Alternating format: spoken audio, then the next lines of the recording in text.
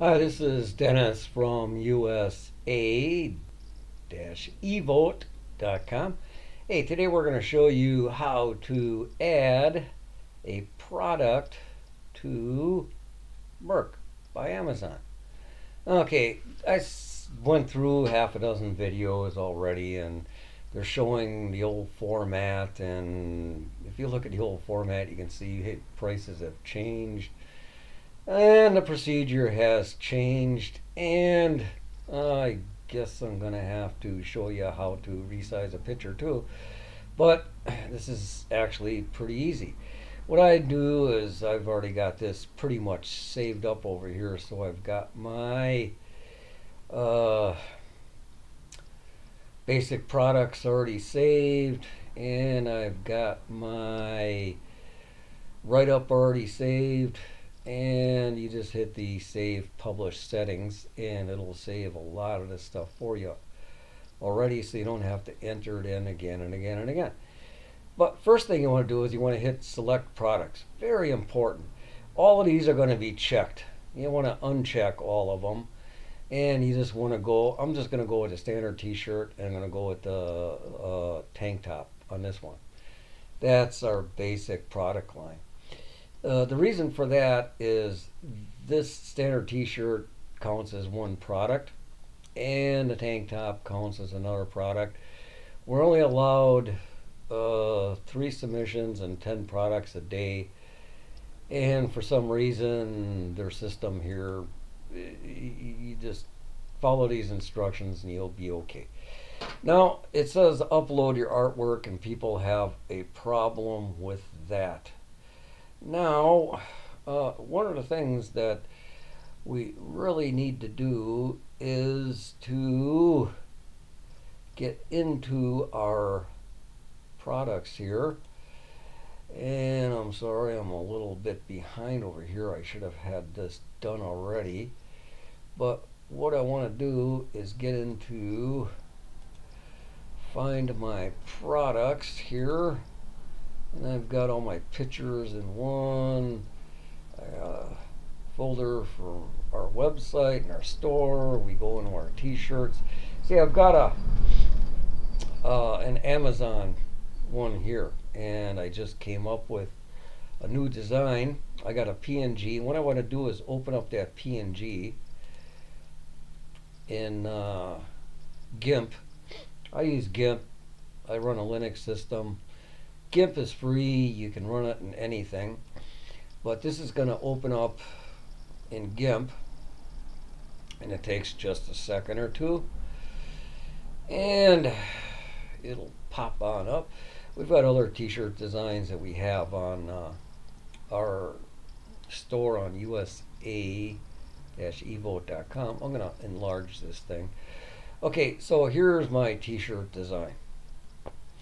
Now, I'm going to go over, simply go over to images because we're opened up a PNG and we want to look at the canvas size.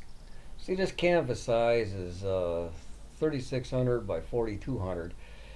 What Merch is telling us is that we have to have a 4500 by 5400. Easy numbers to remember, they're just reversed. Okay, so we got 4500 we want to make sure this little chain thing is unlocked so we can change these individually. And we go over to 5400. All right. So now we've got this and it and it's showing this little picture up here. It's going to offset it to the right and down. What we want to do is uh, we want to center it. Now that we've got it centered, we got a 450 X offset and a 600 Typically, I've been changing these to 100, but uh, for some reason, Merch seems to set their design down a little bit. So I've been going with an offset of 10. And once I put in that offset of 10, you can see it puts it pretty close to the top. and I do have some white area in there. We're using a PNG, so this is actually going to show up as a transparency. And I don't know if this matters, but I'm just going to resize all layers. We're going to hit the resize and we're going to see, boy, this thing increases. Okay, this is the way Merch wants it. This is the only way Merch will accept it. Now that we've got this on there, we want to save as because I want to call this, I call it an Amazon so I know these are resize and they're going to fit on Amazon. And I'm going to put it in my Amazon folder and uh, I don't want to save it. I made a mistake. Of course, you're probably going to make a mistake too. Now that we've got this, we want to export it. And GIMP, we have to export it. And it's going to export it. The default is going to be a PNG, and this is what you want to save it as, is a PNG. We go into our Amazon folder. We're going to put this in as an Amazon again. And we're going to save it as a PNG and we're going to hit the export. It'll take a little couple of seconds. I just use the default. Everything shows up fine. I've, I've had these t-shirts made. I've ordered them. I've washed them. I'm printful. I'm not going to make another video of that. I've already got this one made, but I had been having trouble with my microphone on here. I'm not happy with it, so I deleted that video. But here we go. Now, we can go back to, as soon as I find this thing up over here, we're going to go back to Merch. We're going to hit the upload artwork now. And we're going to go in our Amazon folder. And we're going to take this one that we just created. And we're going to hit the open. Now, you can see this, this area up over here is, is down a little bit from, the neckline. So we really don't want to offset it any further down we offset it any further down, you're going to be tucking in your shirt, you're going to be covering up your cool design. And you notice these things are already scaled down. See, I made this thing intentionally a little bit narrower for a tank top. And they scaled it back down for a tank top. So maybe you gotta make one set of artwork for a t-shirt, one set of artwork for a tank top or something. But we're all kind of learning this system.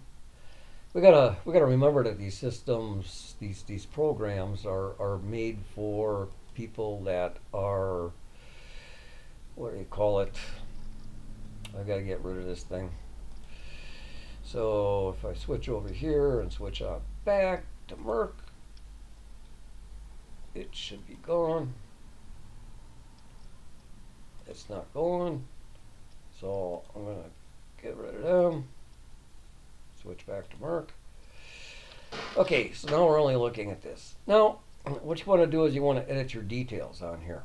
And when you edit your details, you're going to pick your colors. I've already picked out my colors, but there's other color choices that you can go through and, and they're going to light up. They're going to show your, your shirt looking really cool. And uh, you pick the colors you want. You got to do this with both of them. I've already got these colors chosen and you also want to adjust your price. See, we got this set at uh, the list price. We're going to make $2 on this shirt.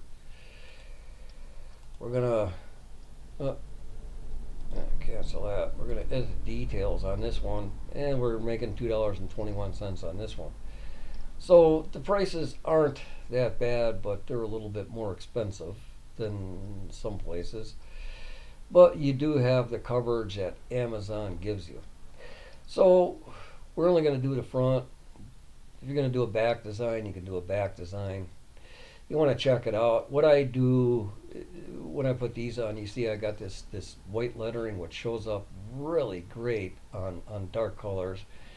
And I put a little, you can't really see it, but I put a dark blue border around this thing so when we go to a white t-shirt, it'll look great too. Now, when we go down here, brand, our brand is USA E-Vote, Get Out the Vote Apparel 2020 series. And here's the design title. This one, we got to come up with a good design title uh, if you don't think your one vote matters, okay, we could come up with a, just a little catcher.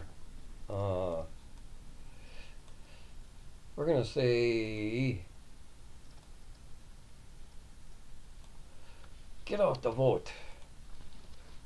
One vote matters. This is this is more or less. I'm just looking at this that that if somebody sees it and they want to search it again, they can quickly search it on Amazon. And one vote matters will probably show up in a search among 20 million other T-shirts. Okay, our key product features are Get Out the Vote apparel from USA eVote. If you put in a T-shirt or something like this, you're going to have that little warning sign popping up. You got to use the word apparel. Okay. Uh, and this one you have to have at least 75 characters. Uh, make a stand in America by showing your support. And we can just add in here that one vote matters.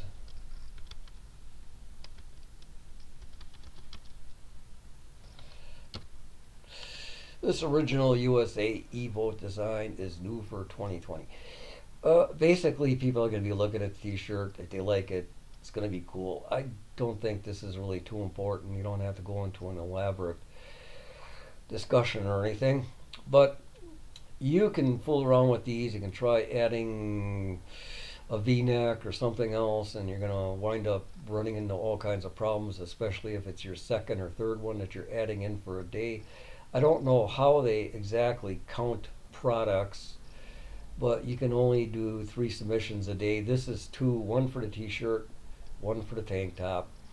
So you're kind of limited in what you can do for a day but you got to make sure this review is lit up and you can see I've got like 10 color choices and stuff like that.